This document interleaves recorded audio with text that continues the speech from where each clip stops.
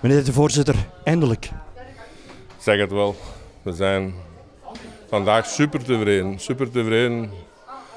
Eh, een kleine domper de eerste drie, drie, vier minuten met de eerste tegengoal. Maar de jongens hebben zich ongelooflijk hersteld. Wat een verschil, hè, die eerste en tweede helft.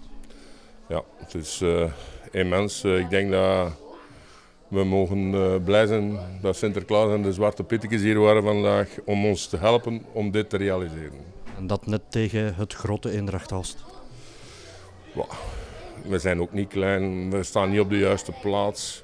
Maar oké, ja, zij zijn veel beter eh, gepositioneerd als wij vandaag. Eh, maar ik blijf erbij, wij staan niet op de juiste plaats. En we gaan dat de komende weken hopelijk kunnen verder laten zien en laten doelen. Het zal volgende week nogal een klas zijn daar eh, bij de vrienden van eh, Sportkring Sint-Niklaas.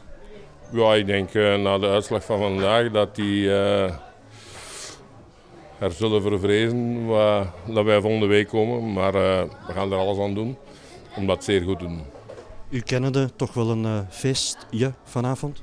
Wij gaan, we zijn al aan het feesten en we gaan verder feesten.